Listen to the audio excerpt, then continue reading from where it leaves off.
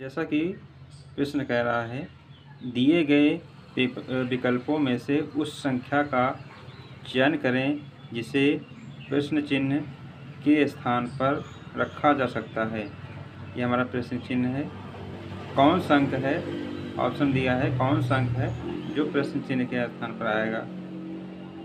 तो देखते हैं सबसे पहले, इसे दिया है। तो यहाँ से लेंगे हम पहले सर्वप्रथम। से तीन प्लस चार बराबर सात हो गया हमारा। उसी प्रकार छ या एक प्लस छ बराबर सात हो गया। फिर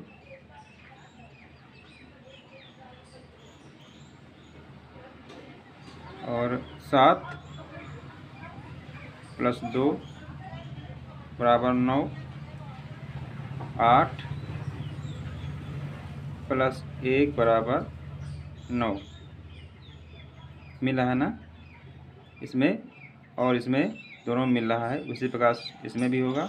जैसे छः पा, प्लस पाँच बराबर ग्यारह। तो नौ कितना आएगा?